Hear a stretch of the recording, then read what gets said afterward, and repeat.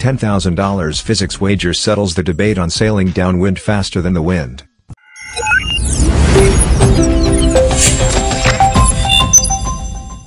A video of a wind-powered land vehicle in action sparked a high-profile $10,000 bet.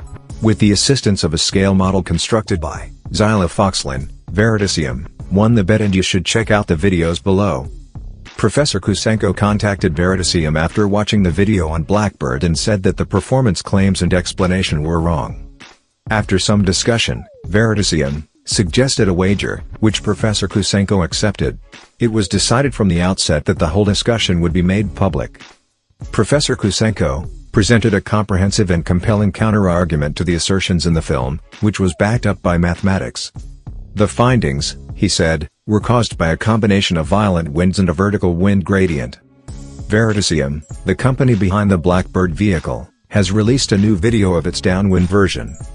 The car is able to travel at speeds of up to kmh mile per hour while traveling straight downwind.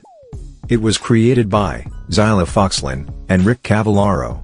In the end, Professor Kusenko gave into the evidence, and Veritasium will put the money into additional STEM education films.